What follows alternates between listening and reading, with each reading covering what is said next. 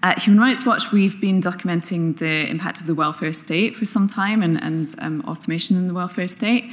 Um, you have an algorithmic system that is gathering lots of data points, um, just a kind of very crude reading of information that doesn't account for the complexity and kind of changing circumstances of someone's life. In the case of universal credit, kind of famously, um, it didn't, it sort of anyone that was paid twice in a month, they were counted as having a double payment, so your universal credit was uh, you know, significantly decreased.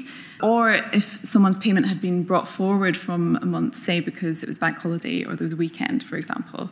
So all of this kind of thing is like incredibly mundane. It is not what is going to be discussed at the summit next week, I imagine. But this is the, the kind of nuts and bolts of life that impacts real people, and this is how AI is being deployed, whether it's across welfare, whether it's across policing, whether it's across, you know, asylum applications. That is, you know, the impact on people's lives, and it's happening now.